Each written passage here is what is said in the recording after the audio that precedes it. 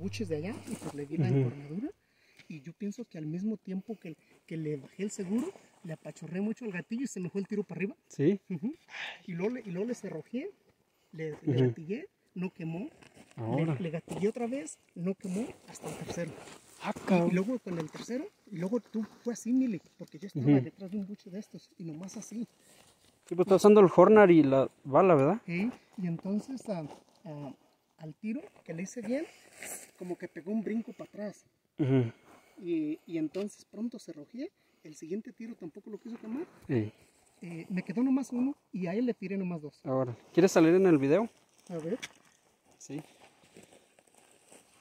sale bien así con, Sí.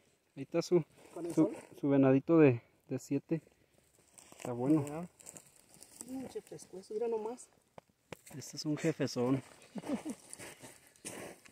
Arrímate, mijo, con tu rifle. Vamos a sacar con Mili y nos saque una foto. Sí. Ahora le quito el tiro de arriba. El Juni. Ahí salió otro Juni, faldeado, abajito de donde estabas, iba para arriba en chinga. Oye, Ahorita. De, ahorita que, que, que, que, que sería Carlitos como tiró- si Carlos estaba tirando también Él acá. tiró, ya me dijo. Oye, Él le tiró un 4 que se le atuchó y dice que está atuchado. oye.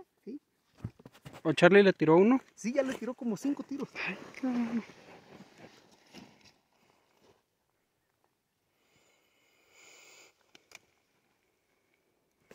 Ey, Raúl, ocupamos.